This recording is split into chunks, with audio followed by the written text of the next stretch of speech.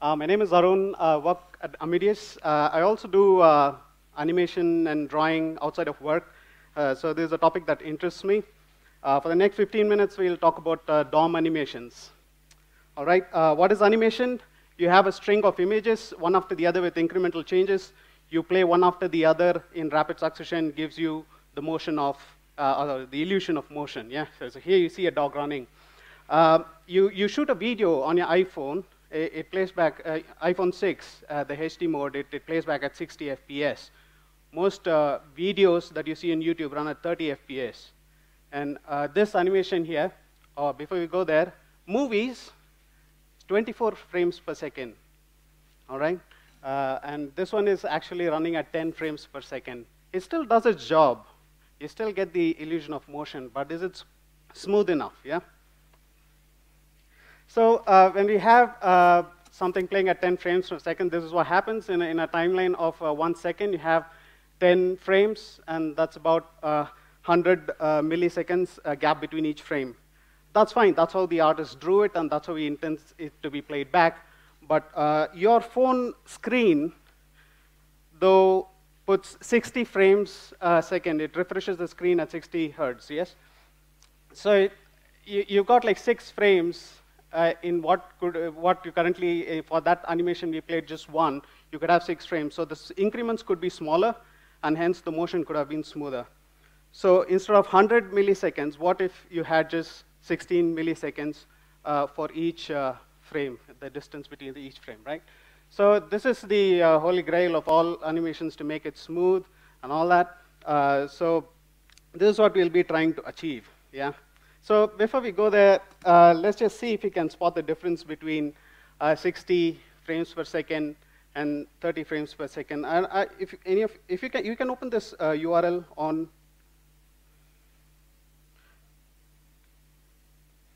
on your phone. You should get something like this.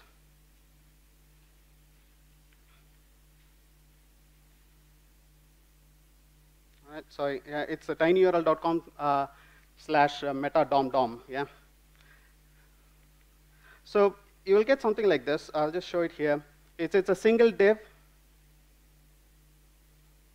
that just uh, has a lot of fancy CSS to it, uh, and it's just bouncing around, right? So let me quickly toggle this to 30 frames per second. Tell me you can tell the difference. Do you guys see a difference? That's 30. This is 60 right? So it's, uh, we'll also confirm that. Uh, you have this option in Chrome tools where you can say, it's, it's, a bit dark, so it's kind of showing 60 there, that line. It's red on black, it's horrible, but uh, it's kind of showing 60. I toggle it back. 30 frames, it drops to half. I purposely skip uh, alternate frames, and it drops to 30, and you still have it moving. Some of you might feel this is not good enough, right? And that's why we go for 60. Right? Uh, uh, on some of your phones, if it's really old, like mine, I have a Moto G here, uh, it might be really struggling with this, so you could just remove all the CSS, put some simple CSS, and see how it works on your phone. Right? Uh, so it's, it's on your phone, you can uh, try it out, and you can actually decide if 60 FPS is really worth it, right, for putting in the extra effort.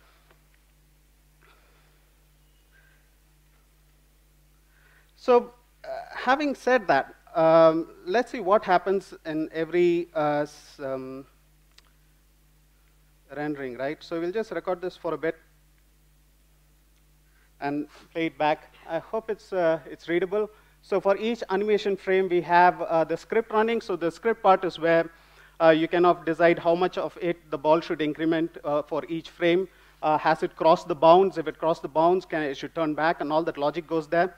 Uh, next is once you've done that and you put a particular style on the DOM element, then there's the whole recalculation of the styles for the entire page and the layouts.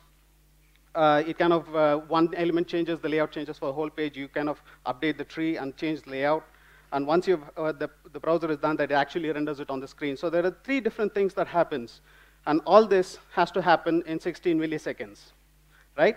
Uh, so this is the same bouncing ball done on my laptop and on my Moto G phone, uh, you can see the amount of difference in one second, how much time is spent in each one of these uh, portions, right? So you can see painting actually taking up five, six times more time on my phone than it does here. Uh, how do you figure this out? Okay, uh, we saw on the desktop we do this. Uh, for the um, phone, you just go Chrome, inspect devices, and then you say, this is for a different page, but I'll just show you for interest of time. Inspect it, and now you're actually inspecting the phone. There's another page running there, so uh, you, will see different things here, but uh, you just uh, run the same thing on the phone, and you can inspect it remotely using this Chrome Inspect devices. It shows you all the browsers that are open, and the page is there, and then you can just inspect it, right? So, but the difference is kind of this. So you're seeing a, a five-factor, uh, you know, uh, downgrade, but it's not like this is the deal. I mean, depending on the page, depending on the phone, the, the, this factor is going to change uh, each time. Uh, but then you cannot go tell your users, see, mobile is restricted, so we cannot give you smooth animations. They're going to listen to you. Uh, they want the mobile experience, and you know what that means, right? I mean, because the real estate is really small, uh, the designers put in all these uh, fancy animations to keep the users interested. Uh, also, the user is actually touching the screen, so they want, they get instant feedback. It's not like the mouse where you're doing, moving somewhere else and the pointer somewhere else. So you get instant feedback. So all that kind of tends to uh, put greater expectations on mobile UX uh, than say, desktop in some cases. Right, so we saw the three major parts. We'll just go through each one of them. Uh, first is uh, request animation frame.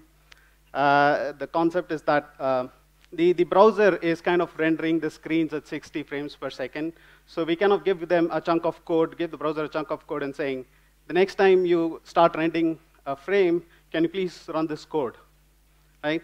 So kind of like you can see the small diagram that might represent what the browser is doing. It's, it's, got, it's going to render that vertical lines are uh, each frame render start. It lasts for 16 milliseconds, considering it's 60 FPS and then it uh, goes on and on. So once you drop that chunk of code, those three things, uh, script, layout, and uh, painting happen within that. Ideally, it doesn't happen as soon as uh, the browser starts rendering the frame. It, it may, you might see something like this, uh, but that's OK. Now, I could do the same thing with set interval and kind of uh, run a chunk of code every 16 milliseconds, right? But then the problem is this. So if the set interval is triggered at some point uh, in middle of the frame rendering, it'll actually kind of push itself into the next frame. So the browser already started rendering the next frame, so it'll obviously lead to dropping off uh, uh, frames. I'll just try do that. I'll have to be really lucky for it to work proper, because things like this happen.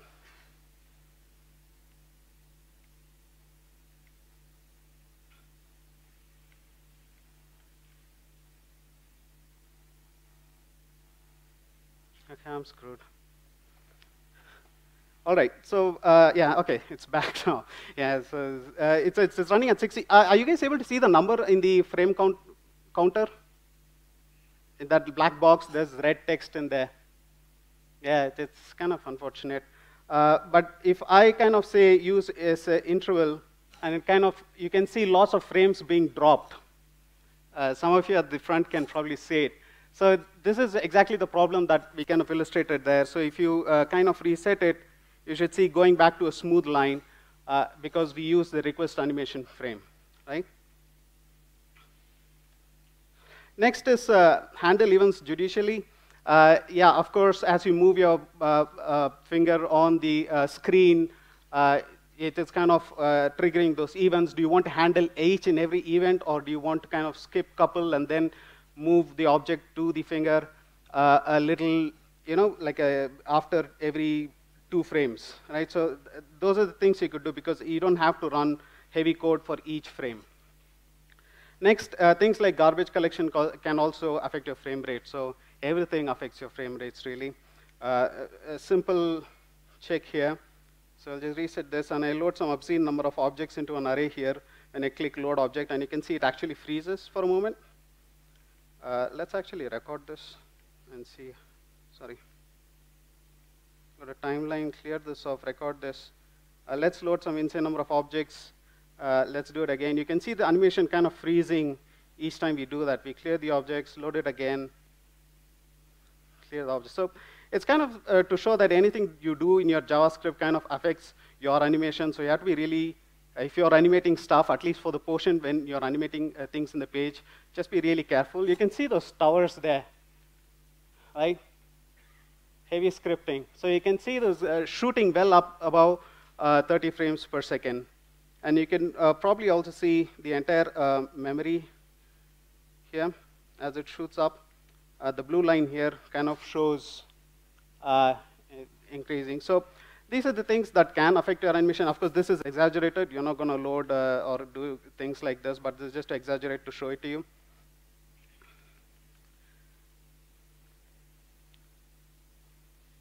Right, uh, this is a simple code for uh, request animation frame. You can look it up. I'm not going to spend time there. Uh, next is uh, the layout part. Now the scripting is done. You set the styles. Now the browser has to recalculate the styles and uh, redo the layout. Uh, this is where you have to be careful of something called DOM thrashing. Is when you actually read, write, read, write alternatively, right? So this is a problem because every time you write, the browser has to recalculate the style before it does the next read. Uh, so it can, because the last write kind of invalidates what it already knows about the positioning and the styles of the different elements, right? So this is a problem uh, that we'll just check here how it works. So I'll start, oh, actually. One second. Okay, I'll just click this trash DOM and then I'll record this for a bit. Uh, yes, does something look odd there because, uh, okay, recalculate style is there, but instead of this timer, again you have this recalculate style, recalculate style happening more than once for each frame render, and that's the DOM thrashing, and this really affects uh, the rate at which you're going to render your frames. Uh, it, it's, so, it's so obvious that uh, the Chrome tools actually put exclamation mark there saying you're doing something wrong here. So that's something you can catch easily, but you just have to be aware that these things can happen.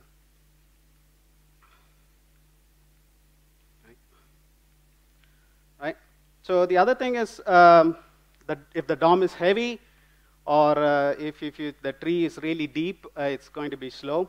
Uh, we all know that uh, the uh, DOM engine is usually not a black stallion with you know, shining skin. It's, it's, it's a donkey there. And the more you load, it's going to crash. Yes? So it's not just animation, of course. It's for anything that's there in the web page. Uh, your, your uh, kind of any DOM manipulation you do, heavier the DOM, is, your application is going to suffer. The next uh, thing that we're going to see is the paints. Uh, paints are expensive, paintless, as simple as that. Right? So uh, this is a common, I'll remove that FPS meter there. This is a common uh, design pattern that you see in mobile is where you add a header up there and kind of keep it fixed and I added a scroll bar so you can show it to you. Now, there's this option where you can see paint rectangles, right? So it puts a green box around uh, whatever is being painted. Even if I move the scroll, it's going to paint the scroll again. It's painting this little guy here. All that is fine. But what we don't want is that you can see this whole page flickering apart from these two guys. That we don't want because this guy is not really changing. So why is this guy being repainted again is because, because, because it's fixed. It kind of doesn't move and it gets stuck there in page and, and the browser thinks, okay, I have to repaint the whole thing because something is moved there and I have to repaint. So you can do that by adding a hint. So what it really does is it adds uh, translate 3D uh, to the title, uh, and it we also added a will change to this guy. I don't know if you can see it. Yeah, will change left.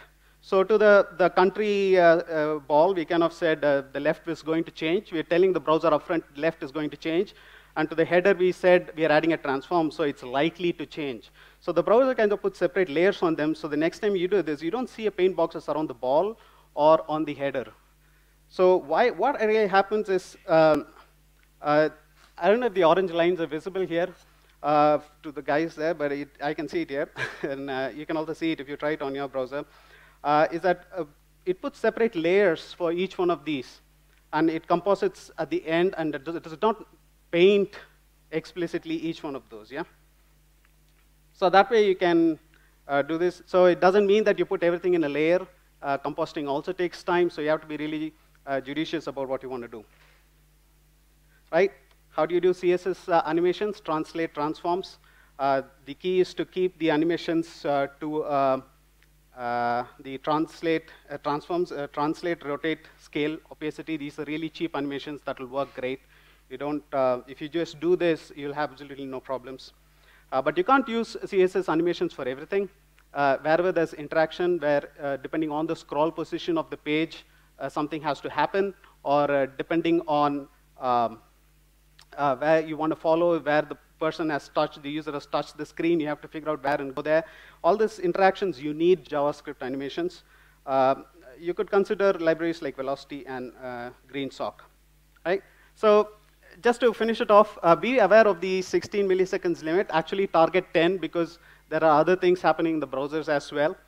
Uh, use cheap uh, CSS transform whenever possible. That's uh, translate, rotate, opacity, and uh, uh, scale. more animation is not always necessary. It doesn't mean it's, it's cooler if you use a lot of animations. everything affects your frame rates. If your phone is a really hot place, the processes are not 100%, your animation is going to go down yes? And learn some animation physics because uh, uh, just like perceived performance, uh, with some knowledge of how animation works, how things move, you can kind of give a perceived uh, feeling of smoothness. There are some references here. So uh, I'll, I'll, stop here. Uh, I'll just do a quick show on the phone. This is not my code. It's, it's written by someone called Arya. I just picked it up GitHub, uh, but it kind of uses JavaScript to kind of um,